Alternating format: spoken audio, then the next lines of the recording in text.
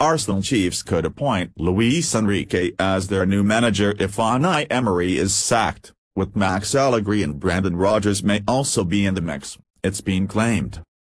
Arsenal may consider hiring former Barcelona and Spain manager Luis Enrique as their new boss, if Unai Emery is sacked, Football.London reports.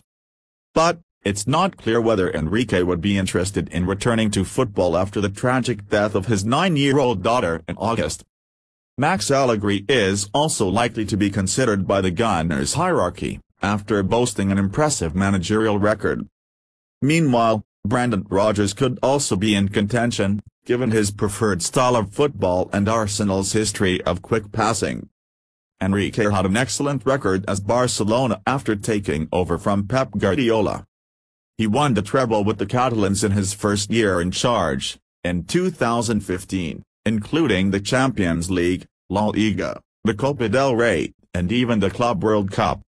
The 49-year-old took a year out in 2017, before being offered the Spain national job in 2018.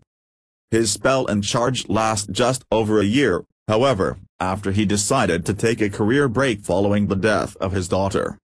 Allegri decided to leave Juventus this summer, after a five-year reign in Turin. The Italian won Serie A in all five of his seasons, as well as winning the Italian Cup on four occasions. Rodgers, meanwhile, had a successful spell in charge at Celtic, north of the border. He won the treble in two consecutive years in Scotland.